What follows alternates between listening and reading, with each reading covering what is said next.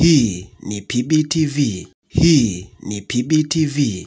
Mkuu wa mkoa wa Katavi Bi Mwanamvua Hoza Mlindoko mapema leo hii akizungumza na waandishi wa habari ofisini kwake katika kuelekea sikukuu za Pasaka amewahakikishia wananchi kuwa hali ya usalama katika kusherekea sikukuu za Pasaka iko salama na kusema kuwa kamati ya ulinzi na usalama wataweka ulinzi thabiti maeneo yote ya nyumba za ibada. Kabisa nianze kwa kuwapongeza Wakristo wote katika mkoa wa Katavi na Tanzania kwa ujumla kwa kushiriki katika ibada hiyo ya siku 40 ya kipindi cha Kwaresma.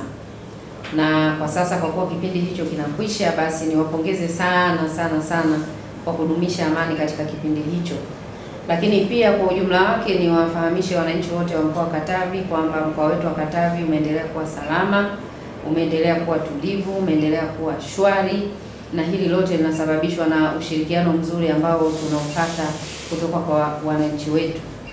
E, ndugu waandishi wa habari, kuelekea e, siku hizi kadhaa kama nne mpaka tano zinazohusiana na Pasaka, nimeona ni vizuri kutoa maelekezo na maangalizo mbalimbali kwa wananchi wetu ndani ya mkoa wa Katavi.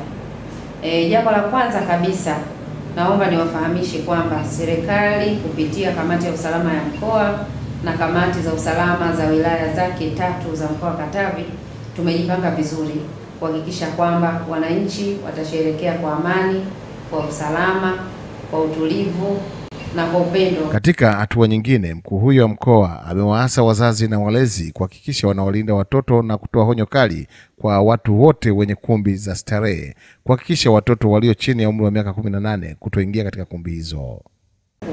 Watoto kuingizwa kwenye ukumbi wa aina yoyote ile kwa ajili ya shughuli za za sherehe na shughuli mbalimbali zinazohusiana na mambo hayo.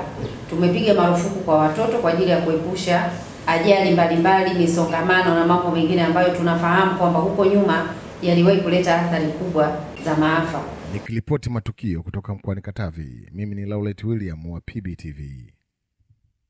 PBTV ni yetu sote.